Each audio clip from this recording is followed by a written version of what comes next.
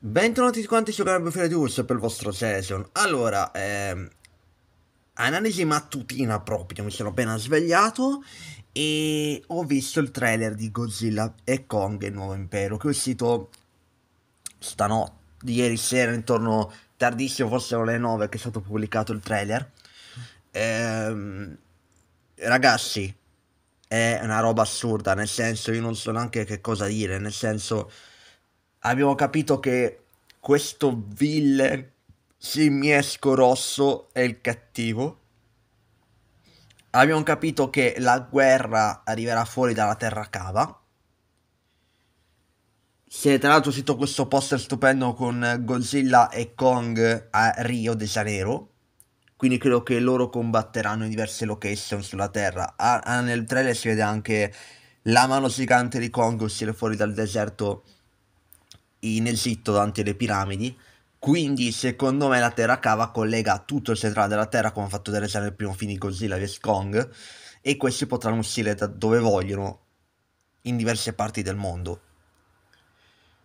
Abbiamo visto anche Godzilla che si evolve con queste spine viola, molto figo, perché anche il razzo atomico non è più blu, ma è viola quindi non so se si è voluto più potente diventato un'altra roba. Figa l'idea di farlo evolvere, molto figa. A meno le creature sono molto personalizzate. E anche una cosa interessante è che per tutto il trailer si vedono loro, Godzilla e Kong e altre creature. Quindi gli umani sembra che stavolta abbiano poco spazio e finalmente alleluia, perché io da un film del Monsterverse mi aspetto questo. Non che in Godzilla vs Kong sarà poco spazio loro due. Anche con una terra cava si vedono molti animali. Però il problema è che sia sempre la, la, la, la, narrazione umana che per carità serviva per arrivare poi a Mecha Godzilla nel finale. Però non, non, non, mi interessava, nel senso io voglio vedere loro, loro che combattono contro altre creature, loro due che si bastonavano. Ecco, qui loro due che si alleano nel finale, che combattono insieme, una roba fantastica. Fantastica vedere Godzilla e Kong. Poi c'è quest'altra scimmietta un po' più piccolina, sempre di colore rosso. Non riesco a capire se sia dei flashback di Scar da piccolo che Kong conosceva. Però non penso, eh. Perché a un certo punto uno dei personaggi umani dice: Ma quello è un mini Kong, quindi non è possibile che gli umani abbiano già conosciuto loro da piccoli. Cioè, scarta piccolo. Scarto, perché Massi così il cattivo, il, la scimmia. Ehm... Tra l'altro si tratta come re Scar, quindi fa proprio capire che Kong non è più il re della Terra Cava, ma è Scar. Oppure Scar è re della Terra Cava. Bisogna vedere un po' sta roba qua, perché in effetti se sei stato un villain nella Terra Cava fino adesso, perché in Godzilla vs Kong non ne hanno mai citato? Ecco, magari è stato nascosto per tutti questi anni. Tanto si dice che lui sarà il titano che comanderà tutti gli altri titani e manderà guerra sugli umani. Si dice, eh? Non lo so. Sembrerebbe un gran bastardo e la cosa mi piace perché il fatto che Kong da solo non possa batterlo mi fa piacere questa cosa, che si rialleare con Godzilla per sconfiggerlo. E... Ehm, niente ragazzi, il, il, il, il trailer funziona alla grande mi è piaciuto tanto Scar per quel poco che lo fanno vedere. Mi sia un villain sia caratterialmente che sviluppato anche abbastanza bene a livello estetico. Non capisco perché Kong a un certo punto ha tipo un brasso con, con una specie di dispositivo attaccato. Sembrerebbe una specie di, di, di, di roba meccanica. Non lo so, non lo so. Forse magari gli, darà qualche upgrade umani per aiutarlo. Non lo so visto che comunque non, eh, non, è la prima volta che aiutano Kong gli umani. Eh, siccome ora qui si tratta di guerra sulla Terra, perché stiamo parlando di un casso di, di Simeone rosso che vuole conquistare gli umani, infatti il regista aveva detto che mm, in un'intervista che avrebbe che questo film era un po' riferimento al pianeta delle scimmie, nel senso che vediamo un suo scimpanzé gigante che inizia ad attaccare gli umani fuori dalla terra cava. Ecco, Secondo me il fatto che vediamo già Kong che si scontra contro questo sono due scimmie.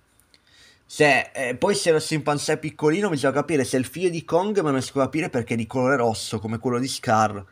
Non, non capisco. Boh, sta roba Bisogna vedere il film, probabilmente non te la spiegheranno neanche con il prossimo trailer che arriverà tra qualche mese. Secondo me. Però magari mai di mai, magari. Il regista ha detto che saranno anche circa 8 minuti di combattimento e di scene solo con le creature, quindi secondo me il fatto che hanno tutto lo spazio ai titani mi piace. È un'ottima idea, un'idea anche intelligente, perché ripeto, il Monsterverse deve puntare su questo. E mm, mi piace, mi piace. Perché è un trailer che ti cattura, ti fa capire quanto è grossa la posta in gioco. E, insomma, ragazzi, per me è ok. Non vedo l'ora di vederlo. Io già avevo hype ancora prima di, di sto trailer. Adesso mi hanno fatto vedere ancora di più. E quindi ora c'è ancora di più l'hype. Perché è uno dei due film che aspetto più all'inizio dell'anno. Questo è Ghostbusters, eh, la minaccia glaciale.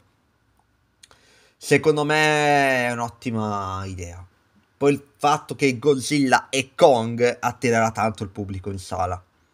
Tantissimo perché vedere loro due che combattono insieme è esatto, sento volte più bello di vedere loro due che si menano. Per dirvi che poi alla fine di Godzilla vs Kong diventano alleati per combattere Mecha Godzilla, ok.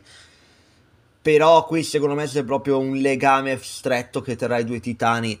Poi non lo so, magari qualcuno dei due si lascerà le penne stavolta, eh. Godzilla non credo perché si è rivoluto, è diventato ancora più ultra power di prima magari Kong eh, si lascerà dopo sto film, non lo so.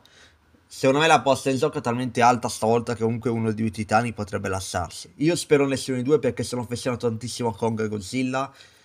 Già nei film King Kong quando alla fine muore solo Empire State Building mi, viene sempre la lacrimussa. Perché alla fine Kong non è cattivo.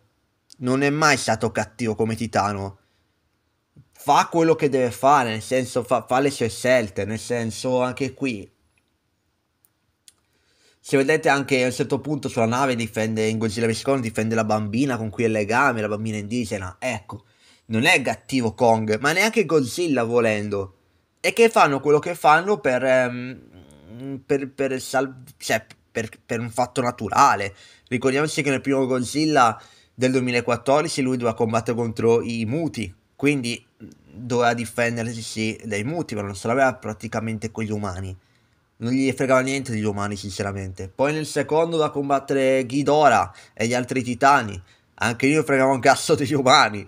E in Godzilla vs Kong sentiva la minaccia di la minaccia della testa del, di, di Ghidorah che era attiva e quindi stavano creando il Mecha Godzilla. Anche lì ecco perché attaccava gli umani. Insomma, è tutta una giustificazione per il Godzilla non è cattivo, manco per un cazzo. Ecco, manco qui. Manco qui perché lo vediamo combattere insieme a Kong, quindi secondo me anche qui vorrà proteggere ancora un po' gli umani, per quel poco che gli interessi. Diciamo che si terrà molto più Kong a proteggere gli umani che Godzilla, però vediamo un po' come si svilupperà la trama e la storia. Fateci sapere sotto come pensate di questo trailer se vi è piaciuto e noi ci vediamo al prossimo video sotto un pubblico, basso un pubblico ricordo su tutti quanti social.